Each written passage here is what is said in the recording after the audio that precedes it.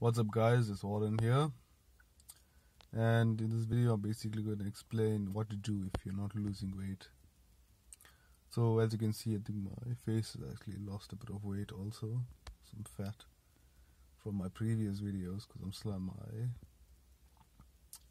cutting phase. So what can you do to lose to lose weight? Like what to do if you're not losing weight and you even though you're trying first thing point one is to count calories. End of story. Like i think if you're not knowing what you're putting in your body for that entire day you can be hellish sure that you're not going to know what's causing you to your weight not to drop. And during the first week of the first few weeks maybe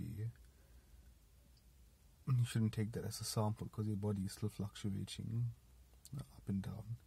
You don't know when it's going to drop with all the water weight, etc. But if it's over a longer period, like two weeks or three weeks, then yeah, there's something there's something going on. If you're not dropping weight, you need to count your calories. Maybe you're having a packet of chips in between, and yeah, so you just need to you need you need to count your calories.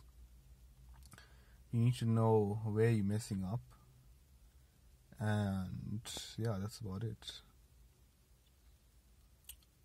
you can also use the app so i use this app uh, myfitnesspal where everything i eat i track on the app so it allows you to track your breakfast and it does all the approximate calorie counts so unless your like chicken is like covered in butter and stuff or you, then you might have to include the amount of butter you have but it does have the approximation of like roast chicken and other foods.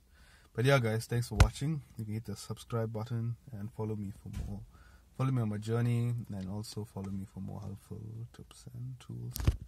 Thanks, guys. I leave a link in my Instagram. You can follow me also. Cheers. Bye.